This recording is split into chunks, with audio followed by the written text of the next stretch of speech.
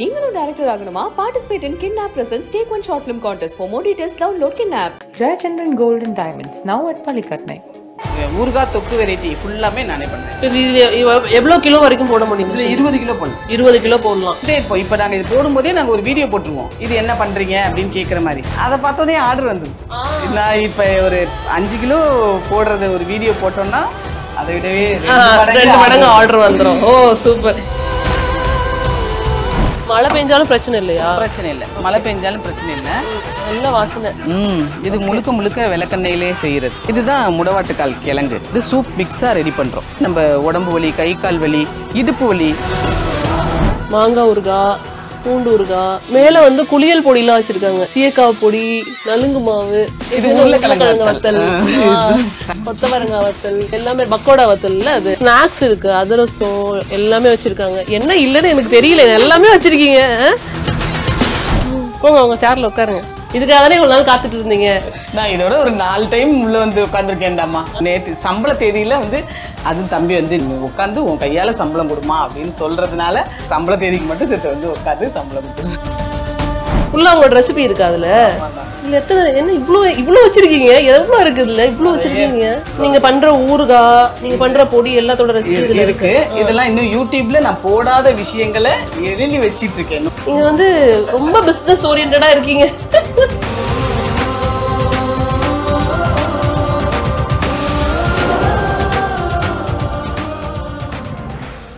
இப்போ எனக்கு ஒரே ஒரே ஒரு விஷயம் தான் கேட்கணும்னு தோணுது. ஏன்னா சிங்கிளாக அதுவும் பெண் குழந்தைங்க ரெண்டு பேரே வச்சுட்டு நம்ம வந்து ஒரு விஷயத்த பண்ணுறோம் அப்படின்னா நிறைய இடையூறுகளும் இருந்திருக்கும்.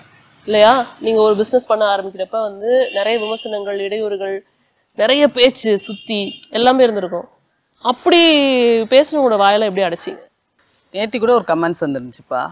குப்பைமேனி செடி குப்பைமேனியில் நாங்கள் சோப்பு தயாரிக்கிறோம்.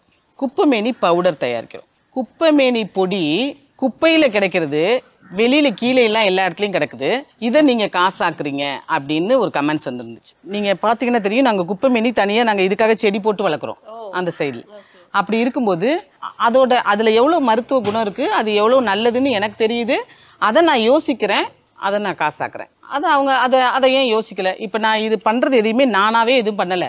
நான் இந்த மாதிரி பண்ணுறேன் இதில் இந்த மாதிரி வாய்ப்புகள் இருக்குது நீங்கள் இதையும் பயன்படுத்துங்க அப்படின்னு தான் நான் சொல்கிறேன் அவங்க செய்கிறதில்ல விமர்சனத்தை மட்டுமே பேசிட்டு உட்காந்துருக்காங்க நான் நான் எந்த விமர்சனத்துக்குமே பதிலே சொல்ல மாட்டேன் நம்ம இந்த இந்த பிரண்டை செடியெல்லாம் எவ்வளோ காசு தெரியுமாப்பா? அவ்வளோ காசு. நாங்கள் வந்து வாடகைக்கு எடுத்து நாங்கள் வந்து இதை நாங்கள் உருவாக்கியிருக்கோம்.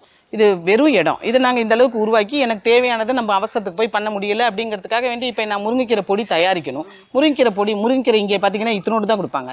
இருபது ரூபாய்க்கு. இப்போ எனக்கு வேணும்னா அந்த இவ்வளோ இருக்குல்ல நாங்கள் ஒரே நாளில் ஒடிச்சு நாங்கள் பண்ணிடுவோம்ல அப்படி தான் ஒன்று ஒன்று என்னோட தேவைகளை தேடி தேடி அவங்களுக்கு செய்ய முடியல விமர்சனத்தை மட்டும் சொல்லிட்டு அதே இடத்துல உட்காந்துருக்காங்க நிறைய விமர்சனங்கள் வந்துட்டு தான் இருக்குது. இன்னுமே வந்துட்டு தான் இருக்குது நிறைய நிறைய விமர்சனங்கள் வரும். ஏன்னா இப்போ நம்ம வளர்ந்துட்டோன்றதுக்காக வேண்டி சொல்கிறா அப்படிங்கிற மாதிரிலாம் நிறைய இருக்கக்கூடாது. அதனால் வேண்டி நான் வளர்ந்ததே அவங்களுக்கு ஒரு பெரிய விஷயமா தான் இருக்கணுன்றது தான் விஷயமே. செம பதில் தான் இது. உங்க வளர்ச்சி தான் உங்களுக்கு இது. உங்களுக்கு உங்க குழந்தைங்க கிட்ட என்ன சொல்லி வளர்க்குறீங்க? அவங்களுக்கு நான் சொத்து பத்தெல்லாம் எதுவுமே சேர்த்து வைக்கணும்னு நினைக்கலப்பா. இன்ன வரைக்கும் ஒரு பிஸ்னஸை கற்றுக் கொடுத்துருக்கேன். நீ வந்து சம்பாதிக்கணும். நீ இப்படி தான் சம்பாதிக்கணும். நீ ஒரு பிஸ்னஸ் மோட்டிவ் அவங்க பார்த்து பார்த்து வளர்றாங்க. அதனால அவங்களுக்கு ஒரு நல்ல பிஸ்னஸை அதாவது நீ ஒரு நல்ல விஷயத்த கத்து அவங்களுக்கு கற்றுக் கொடுத்துருக்கேன். நீங்க இந்த- பிஸ்னஸை நீ இப்படி தான் கொண்டு போகணும். எல்லார்ட்டையுமே சொல்லுவேன். நம்மள்ட்ட ஒர்க் பண்றவங்கள்ட்ட கூட எல்லார்ட்டையும் சொல்லுவேன். இங்க இங்க ஒரு வேலை செஞ்சாங்கன்னா அவங்க வீட்டில் போய் என்னாலும் பார்ட் டைமா பண்ண முடிஞ்சாலும் கூட பண்ணுங்கன்னு சொல்லுவேன். இந்த இடத்துக்கு இன்னும் பெரிய இடத்துக்கு போவீங்க. அது கண்டிப்பா நடக்கும். இந்த இடத்துக்கு வருவோம்னு நினைச்சு பாத்தீங்களா? இப்ப வந்ததுக்கு அப்புறம் எப்படி இருக்கு உங்களுக்கு? யாரையும் ஏமாத்தல. யார் கூடயும் கெடுக்கல. நம்ம பின்னாடி என்ன பண்றாங்க? இவங்க என்ன பண்றாங்கன்னு பார்க்கல.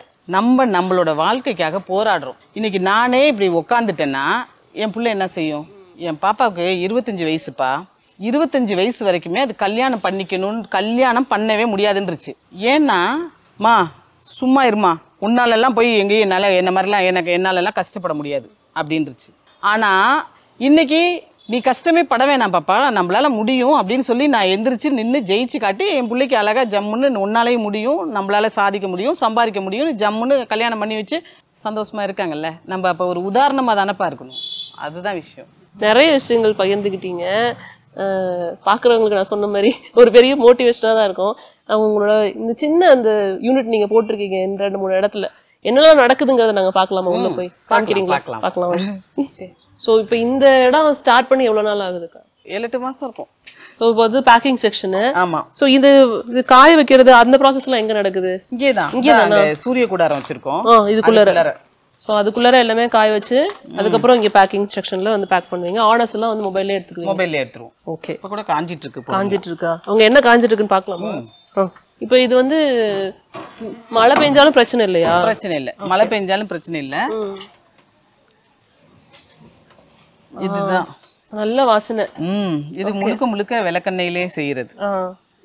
மிளகு ஜீரகம் கடுகு வெந்தயம்லாம் போட்டு. தாளிப்பு வடகம். நல்ல வாசமா இருக்கு. இப்பெல்லாம் இது செய்யறதுக்கு யாருக்கும் டைம் இல்ல. பட் நீங்க வீட்ல செய்யற மாதிரியே செஞ்சு தந்துட்டு இருக்கீங்கன்னு நினைக்கிறேன் நம்ம செய்ய ஆரம்பிச்சு நிறைய வீடியோ போட ஆரம்பிச்சு நிறைய தாலி படம் எல்லாரும் செய்றாங்க. இதுதான் முடவாட்டுக்கால் கிழங்கு. ஓ இந்த அங்க இருக்கே அதுவா? ஓகே அதை வந்து நல்லா இதே மாதிரி நல்லா பதப்படுத்தி அப்புறம் இதை வந்து சூப் மிக்ஸா ரெடி பண்றோம். ஓ சரி. இது வந்து என்ன மாதிரி மருத்துவ குணம் சாப்பிடலாம். இது உண்மையிலேயே இது வந்து இது இதை வந்து நாங்க பிசினஸ் மோட்டிவ்ல பண்ணல. இது நீங்க இது வந்து நம்ம உடம்பு வலி கை கால் வலி இடுப்பு வலி முடக்குவாதம் மூட்டுவாதம் எல்லாமே குணமாகும். ரொம்ப அருமையா இருக்கும். இதுதான் ஃபைனல் ப்ராடக்ட். பாருங்க தாளிப்பு வடகம். இதை எடுத்து போட்டு குழம்புல தாளிச்சு போடுவாங்க. சாம்பாருக்கே சில பேர் தாளிப்பாங்க. காரக்குழம்புக்குலாம் தாளிப்பாங்க. அதாவது புளி குழம்புங்குவாங்க சவுத் கீரை குழம்பு எல்லாத்துக்குமே கீரை எல்லாத்துக்குமே. சூப்பரா துவையில இருக்கலாம் ரொம்ப நல்லா இருக்கும் நல்லா வாசமா இருக்கு. ஒரு வருஷம் வரைக்கும் வீணா போகாது. இது எப்படி இந்த இதெல்லாம் உங்களுக்கு தெரியும்க்கா? இந்த மாதிரி ஒரு கிழங்கு இருக்கு. இது மாதிரி ஒண்ணு இருக்குன்னே எங்களுக்குலாம் தெரியாது. எனக்கும் தெரியாதுதான். ஆனா அதுக்கப்புறம் ஒரு சகோதரி வந்து வெளிநாட்டுல இருந்து வந்து எனக்கு வந்து இந்த மாதிரி முடவாட்டு கால கிழங்குன்னு ஒண்ணு இருக்குப்பா எனக்கு வாங்கி அனுப்புங்க அப்படின்னு சொன்னாங்க. இந்த கிழங்கோட விலை ஐநூறு ரூபா எது? ஆமா ஒண்ணா? ஒரு கிலோ ஒரு கிலோ ஐநூறு ரூபாயா அம்மாடி ஆ. ஐநூறு ரூபா கொடுத்து வாங்கினவங்க ஐநூறு ரூபா கொடுத்து நான் அவங்களுக்கு வேற இடத்துல வாங்கி அனுப்பிச்சு விட்டேன் அவங்க வந்து அதை வந்து கொரியர் சார்ஜே எழுநூறு எட்நூறு ரூபா கொடுத்து வாங்கினாங்க. அப்ப அதுல இவ்வளோ விஷயம் என்ன இருக்கு? இவ்வளோ இதையே இவ்வளோ ஐநூறுரூவா கொடுத்து இதை வாங்குறாங்க? அப்புறம் கொரியர் சார்ஜ் வேற இவ்வளோ காசு கொடுத்து வாங்குறாங்க? இது என்ன இருக்குன்னு இதை பத்தி தெரிஞ்சுக்க ஆரம்பிச்சு அதுக்கப்புறமா இதை நாங்க தயாரிக்க ஆரம்பிச்சோம். நல்ல ரிசல்ட் இது ஜனங்களுக்கு. ரொம்ப அருமையா இருக்கும். ஃபுல்லா அவங்க கீ இது கருவேப்பிலை தான் அஞ்சிட்டு இருப்பாங்க. இது மசாலாக்கு எல்லாம். கருவேப்பிலை பொடி. ஓ கருவேப்பிலை பொடி. அதுக்கப்புறம் இங்க வத்தல் எல்லாமே வந்து பேக் பண்றாங்க. அங்கிட்டு நெய் பேக் பண்றாங்க. அந்த சைடு என்ன உங்களோட ரூமாக்கா அப்படிதான் போட்டிருக்கோம். எங்க வாங்க போய் உட்காருங்க. சிக்ஸ்டி ஃபைவ் மசாலா போங்க உங்க சேர்ல உட்காருங்க. சோ இங்க ஒரு டீம் இருக்காங்க. இவங்க எல்லாம் இப்படி ப்ராசஸிங் டீம் அது? ஆமாப்பா. இதுக்காக தானே இவ்வளவு நாள் காத்துட்டு இருந்தீங்க? நான் இதோட ஒரு நாலு டைம் உள்ள வந்து உட்காந்துருக்கேன்டாமா ஒரு அஞ்சு இந்த நேத்து சம்பள தேதியில வந்து அது தம்பி வந்து நீ சம் நீ உட்காந்து உன் கையால சம்பளம் கொடுமா அப்படின்னு சொல்றதுனால நான் வந்து இதை உட்காந்து அந்த சம்பள தேதிக்கு மட்டும் சேர்த்து வந்து உட்காந்து சம்பளம் கொடுத்துருவேன் எனக்கு இதுதான் என்ன? நானு ஓ ஃபுல்லா உங்களோட ரெசிபி இருக்கா அதுல? இதுல எத்தனை என்ன இவ்ளோ இவ்ளோ வச்சிருக்கீங்க? எவ்வளவு இருக்கு இதுல இவ்ளோ வச்சிருக்கீங்க? நிறைய இருக்கு. இதெல்லாம் நீங்க பண்ற ஊறுகாய் நீங்க பண்ற பொடி எல்லாத்தோட ரெசிபி இருக்கு. இதெல்லாம் இன்னும் யூடியூப்ல நான் போடாத விஷயங்களை எழுதி வச்சிட்டு இருக்கேன் நோட் புக்கா ரெடி பண்ணிட்டு இருக்கேன் ஏன்னா இப்போ உங்களுக்கு அப்புறம் வந்து எல்லாத்துக்கும் சொல்லித் தரணும் அப்படின்னா இல்ல உங்களோட எம்ப்ளாயிஸ்க்கே வேணும்னா அது மிகப்பெரிய விஷயம். நீங்க வந்து ரொம்ப பிசினஸ் ஓரியன்டா இருக்கீங்க. எவ்வளவு பாருங்களேன். எவ்- எவ்வளவு ப்ராப்பரா வந்து ஒரு புக்கு போட்டு வச்சிருக்காங்க. அவங்க என்கிட்ட சொன்னாங்க ஆக்சுவலி என்னன்னா உங்களுக்கு ஒரு ரெசிபியை நீங்க கத்துக்கிட்டீங்கனாவே அதையே நீங்க ப்ராடக்டா வந்து பயன்படுத்தலாம். ப்ராடக்டா சேல் பண்ணலாம் அப்படின்னாங்க. ஃபார் எக்ஸாம்பிள் இந்த இந்த அடை மிக்ஸ்னு எழுதியிருக்காங்க பாருங்க. ஸோ இது வந்து எடுத்துட்டாவே நம்ம வந்து ஒரு ப்ராடக்டாக சேல் பண்ணலாம். அதுக்கு ப்ராப்பராக வந்து அளவு கொடுத்து அது எப்படி பண்ணணும் அதுக்கப்புறம் அந்த ரெசிபி எப்படி வந்து அடையா மாற்றணுங்கிறது முதற்கொண்டு அவங்க எழுதி வச்சிருக்காங்க. நீங்க நெய் காய்ச்சுற வீடியோஸ் நாங்க நிறைய பார்த்துருக்கோம். இப்பயும் ஸ்டில் வந்து எங்க வீட்டில் தான் காய்ச்சுறீங்களா? ஆமா. அப்படிங்களா? மிஷின் வச்சு காய்ச்சுறீங்க. ஓகே ஸோ இங்க பேக் பண்ணி இந்த மாதிரி சீல் பண்றீங்கல்ல? ஸோ இதுல ஊத்தி இவங்க வந்து அளவு பாக்குறாங்க இதுக்கப்புறம் இது தனியா வருமா? இதை தனியா இந்த மாதிரி மூடி போட்டுருவாங்க. இந்த மாதிரி மூடி போட்டுருவாங்க. இதை மூடி போட்டுட்டு அதுக்கப்புறம் இவங்க சீல் பண்ணுவாங்க. மூடி போட்டாலே மூடி சீல் தானே இல்லையா? அங்க ஹீட் பண்றாங்க. ஓ. ஹீட் ஆயிரும். உள்ள அந்த பேப்பர் வந்து உதா உதாகுமா. அதை திறந்து பாத்தீங்கன்னா தெரியும். ஓகே இப்போதான் எனக்கு அது புரியுது. ஸோ இதுக்குள்ள இருக்கிற அந்த பேப்பர் வந்து ஹீட் ஆனாதான் இதுக்குள்ள போகும். சூப்பர் சூப்பர் அதுக்கப்புறம் அதை தனியா மறுபடியும் இன்னொரு கேப் போட்டு அதை இது பண்ணுவாங்க. ஓகே டபுள் பேக்கா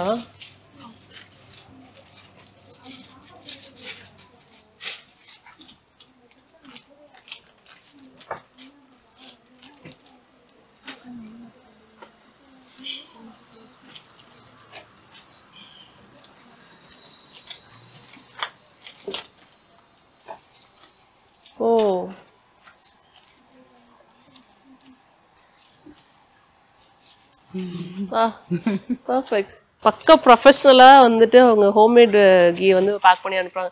நான் நான் ஆரம்பத்திலே சொன்னேன்ல அவங்க வந்துட்டு நெய் காய்ச்சறத நான் பார்த்திருக்கேன். நிறைய வீடியோஸ் அவங்க நெய் காய்ச்சுவாங்க. அப்போ வந்து வெறும் பாட்டில்ல வந்து நீங்க கொடுத்துட்டு இருந்தீங்க. இப்போ எப்படி வந்து ப்ரொஃபஷ்னலா பேக் பண்ணி அனுப்புறாங்க? இங்க என்னது? இங்க வந்து ஊறுகாய் மிஷின் ஓ. இப்போ இது என்ன ஊறுகாக்கா? தக்காளி ஊறுகாய். தக்காளி ஊறுகாய். நீங்க உங்களோட மேற்பார்வையில தான் ஊறுகாய் மட்டும் நடக்கும்ல? ஊறுகாய் நானே தான் பண்ணுவேன் எப்பயுமே. ஆ. ஊறுகாய் மட்டும் ஊறுகாய் தொக்கு வெரைட்டி ஃபுல்லாமே நானே பண்ணுவேன். இப்போ இது எவ்வ- எவ்வளவு கிலோ வரைக்கும் போட முடியும்? இதுல இருபது கிலோ போடலாம். இருபது கிலோ போடலாம். இப்போ ஒரு நாளைக்கு நீங்க வந்து ஒரு ஊறுகாய் செய்வீங்களா? எப்படி செய்வீங்க? ஒரு நாளைக்கு? ஒரு நாளைக்கு ஒரு ஊறுகாய் தான். ஒரு ஊறுகாய் தான் பண்ணுவீங்க. ஒரு நாளைக்கு ஒரு ஊறுகாய். சூப்பர் அக்கா போட்டுட்டே இருப்போம் இப்போ நாங்க இது போடும்போதே நாங்க ஒரு வீடியோ போட்டுருவோம். இது என்ன பண்றீங்க? அப்படின்னு கேக்குற மாதிரி.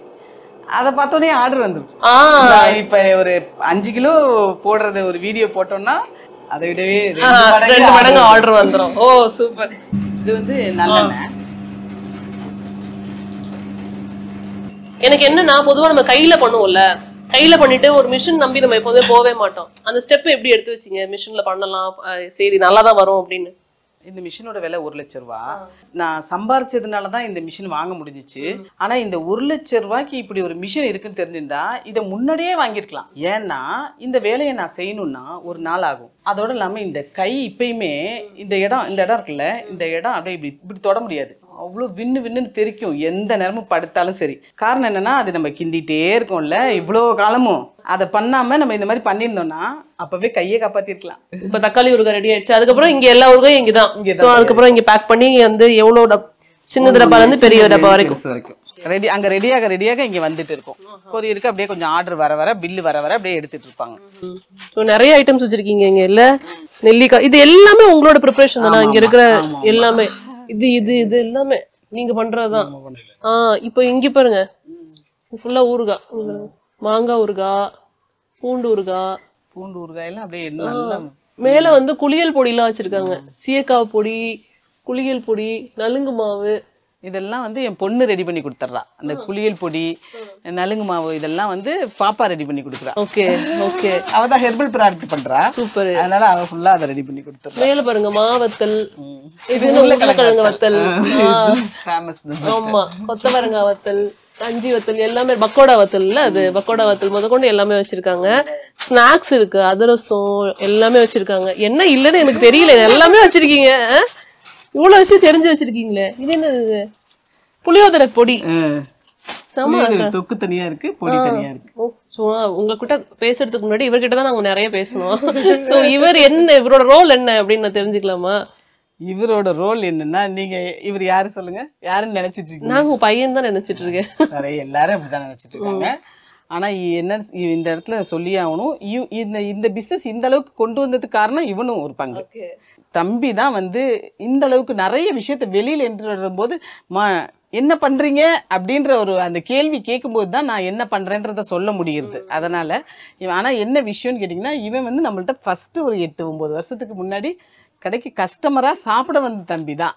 ஆனா இன்னைக்கு அன்னைக்கு நானா ஒத்தாளா வேலை செஞ்சுட்டு இருக்கேனா அப்போ கொடுமா நான் இது வாங்கி நான் இங்கே வைக்கிறேங்கம்மா நான் வாங்கி வைக்கிறேங்கம்மா அப்படின்னு சொல்றதுக்கு ஒரு ஆள் வந்துருச்சு அப்படின்னோடனே சக்ஸஸ்டா ஜெயிச்சிட்டோம்டா அப்போ அப்போ இந்த மாதிரி ஒரு ஆள் இருந்துச்சுன்னா இன்னும் மறுபடியும் இன்னும் நிறைய பண்ணலாமே அப்படின்ட்டு அந்த நேரத்தில் அவனுக்கு வேலை இல்லாத சூழ் கம்மியாக வேலை இல்லை அந்த அளவுக்கு இல்லை. மொபைல் கடையில் வேலை செஞ்சுட்டு தான் அப்புறம் தம்பி வேலைக்கு வந்துருக்கேப்பா அப்படின்னு சொல்லி கேட்டேன் சரி நான் அப்போதைக்கு வேலைக்குன்னு தான் இருந்தான். ஆனால் இன்னைக்கு என் பிள்ளையா இருக்கா? தெரியும். நீங்க கூட இருந்து பாக்குறப்ப எவ்வளவு சுறுசுறுப்பானவங்கன்னு சொல்லுங்களேன். இல்ல நீங்க ஒரு அஞ்சு நிமிஷம் ஒரு இடத்துல உட்கார வச்சீங்கன்னா இருக்க மாட்டாங்க. அவங்க அவங்க கையில ஒண்ணு போன் இருக்கணும் இல்ல வேற ஏதாவது வேலை இருக்கணும். அடுத்தடுத்து அவங்க யோசிச்சுக்கிட்டே இருப்பாங்க. அந்த யோசனைகள் மட்டும்தான் இவ்- இவ்வளவு பெரிய ஸ்டேஜுக்கு வர்றதுக்கு காரணமே. சாட்டர்டே சண்டே எல்லாம் பாத்தீங்கன்னா லீவ் டைம் அப்ப வந்து ஸ்டார்டிங் ஹோட்டல் தான். ஹோட்டல்ல வந்து பாத்தீங்கன்னா பிசினஸ் ரொம்ப டல்லா இருக்கும். ஒண்ணுமே பண்ண முடியாது. அப்ப வந்து சனி ஞாயிறு ரெண்டு நாள் லீவ் இருக்கு. நீங்க பொறுமையா யோசிச்சு என்ன பிசினஸ் பண்ணலாம்னு சொல்லிட்டு வாங்க அப்படின்னு நான் கிட்டத்தட்ட ஒரு நாலு வருஷமா சொல்லுவேன். நாலு வருஷமா டெய்லியும் சனிக்கிழமை ஞாயிற்றுக்கிழமை ஆச்சுன்னா திங்கக்கிழமை வர்றப்ப ஒரு ஐடியாவோட வருவாங்க அதை செஞ்சு பார்ப்போம். கேட்டிங்களா உங்களுக்கு இவ்வளோ வெரைட்டி ஆஃப் எப்படி உங்களுக்கு தெரிஞ்சிச்சு? நீங்க வந்து குக்கிங்ல தானே ரெசிபிஸ்ல தானே ஸ்டார்ட் பண்ணீங்க அப்படின்னு. ஆனா அவங்க வந்து ஒவ்வொரு பிசினஸ்லயுமே ஒரு நாள் தூங்க போனாங்கன்னா நைட்டு தூங்க மாட்டாங்க. அவங்க கண்ணு மட்டும் தான் மூடி இருக்கும் ஆனா மூளை வேலை செஞ்சுக்கிட்டே இருக்கும். யோசிச்சுக்கிட்டே இருப்பாங்க. நான் காலைல எழுந்திரிச்சு பார்த்தா எனக்கு ரொம்ப டயர்டா இருக்கு தலை வலிக்குதுங்க. ஏமா நைட்டு தூங்கலையான்னு கேட்பேன். ஆமா எனக்கு பல விஷயம் யோசனையா போயிட்டு இருக்கு. அடுத்து இதை எப்படி கொண்டு போறது? அ- அடுத்து இன்னும் எத்தனை இடத்துல நம்ம வந்து நம்ம நம்மள மாதிரி எத்தனை பேத்துக்கு நம்ம உருவாக்குறது அப்படின்னு அந்த ஒரு மைண்ட் செட்லயே இருப்பாங்க எப்பயுமே. அம்மா நம்ம இவ்வளவு நாள் ஹோட்டல்லே வச்சிருக்கோம். எப்ப நம்ம முன்ன வருவோம். எப்ப சம்பாதிப்போம் அப்படின்னு கேட்பேன். ஏன்னா பத்து ரூபா காசு கூட அந்த அளவுக்கு கூட ஓடாது. அப்ப வந்து கேக்குறப்ப சரிம்மா நீ சொல்ற நான் நம்புறேன். நீ சொல்ற நீ நம் நான் நம்புறேன். இந்த ஒரு வார்த்தையை தவிர்த்து என்கிட்ட எதுவுமே வராது. அவங்க சொன்ன மாதிரி சக்சஸ் பண்ணிட்டோம் அப்படின்னு தோணுது. நிச்சயமா. அதுக்காக தான் அதுக்காக தான் நாங்க இங்க வந்திருக்கோம். ஆனா இதோட அது நிறுத்- நிக்க போறதும் கிடையாது. சோ அடுத்தடுத்த லெவல் போவாங்க. கூடவே இருங்க அவங்களுக்கு சப்போர்ட்டுக்கு எல்லாரும். சொல்லி வச்சிருக்கேன். திடீர்னு நான் எனக்கு ஏதாவது ஒன்று கிடக்க ஒன்று ஆயிடுச்சு. இல்லை நான் அதாவது நான் அதாவது நான் அடுப்புட்டே வேலை செய்வோமா சப்போஸ் ஏதோ ஒன்று எனக்கு கண்ணில் சில நேரத்தில் பிரச்சனைகள்லாம் இருக்கிற மாதிரி இருக்கும். அப்போல்லாம் சொல்லி வச்சிருக்கேன். திடீர்னு எனக்கு ஏதாவது ஒன்று ஆயிடுச்சுன்னு வச்சுக்கோ இனாம். நான் இனாம் தான் கூப்பிடுவேன். என்னை ஒரு ஓரமாக உட்கார வச்சுட்டு நான் என்ன அந்த எது அதை எப்படி செய்யணுன்றத சொல்லி கொடுக்குறேன். நீ அதே மாதிரியே சமைச்சிரு ஆனால் அந்த கைப்பக்குவம் மட்டும் எனக்கு கண்ணே தெரிலனாலும் பரவாயில்ல. ஆனால் இந்த சாப்பாடு இது நிற்கக்கூடாது எல்லா இடத்துலையும். சோ உங்களோட நேரத்திற்கு நன்றி. இவ்வளவு பிஸியா இருக்கிறப்ப. எங்க கூட்டம் நாங்க உங்க காரை பார்த்தாலே எத்தனை அது காரெல்லாம் போட்டோ எடுத்து வச்சுக்கப்பா. நம்மள தேடி நீட்டே வந்துட்டு நாங்க அந்த அளவுக்கு இது என்னப்பா இப்படி சொல்றீங்க? ரொம்ப சந்தோஷமா இருக்கு உங்களை சந்திச்சதுல. ரொம்ப சந்தோஷம். வாழ்த்துக்கள் அடுத்தடுத்த வளர்ச்சிக்கு வாழ்த்து. நன்றி அக்கா நன்றி. சந்தோஷம். நீங்களும் டைரக்டர் ஆகணுமா? Participate in kidnap presents take one short film contest for more details download kidnap Gold and Diamonds, now at Palikatnai.